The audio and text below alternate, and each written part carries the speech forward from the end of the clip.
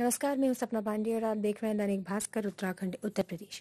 बागेश्वर के गरूर चनौली, तिलसारी मोटर मार्ग में गुणवत्ताहीन डामीकरण के चलते ग्रामीणों में आक्रोश देखने को मिल रहा है। ग्रामीणों ने बताया कि प्रधानमंत्री ग्राम सड़क योजना के अंतर्गत तेरह साल पहले इस मोटर मार्ग का कटान का कार्य शुरू हुआ था। वहीं अब मोटर मार्ग में तेरह साल बाद डामीकरण का कार्य किया जा रहा है।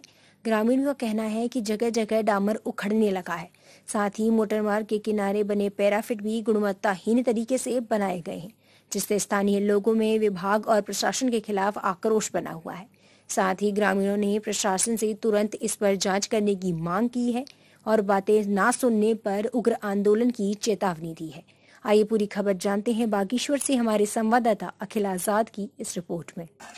पूरा मिट्टी मिट्टी ठहरा ये वो कायनात की मिट्टी है ये सब। सब मार तू। छप्पन एक गार बड़ी भी छप्पन एक तो गार बड़ी भी दादी तो। छप्पन एक एक सीमेंट। हाँ ये। ये देखो पूरा ही मिट्टी मिट्टी है। हाँ? ये देखो वाह पूरा मिट्टी में पूरा मिट्टी का दो। कुछ सोलिंग नहीं सफ़ाई नहीं कुछ नहीं है।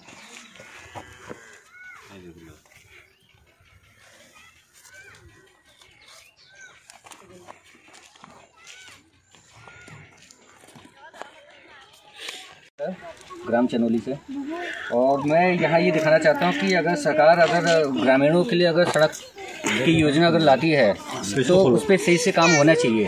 अन्यथा काम होना ही नहीं चाहिए क्योंकि हम सरकार का पैसा हम लोग बर्बाद नहीं होना चाहते हैं। मार्केट खोलो। दादी? ठीक मान खुल रही और बाकी इनकी गुणवत्ता देखिए ऐसे बना रखे हैं ये ये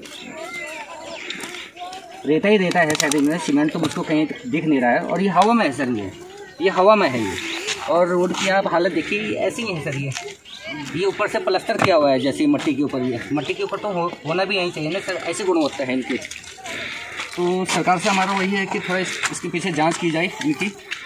और विभागीय अधिकारी लोग आए यहाँ पे देखने के लिए कि क्या है। केवल तो एक्शन लोगों के आने से ही कुछ नहीं होगा सर। धन्यवाद।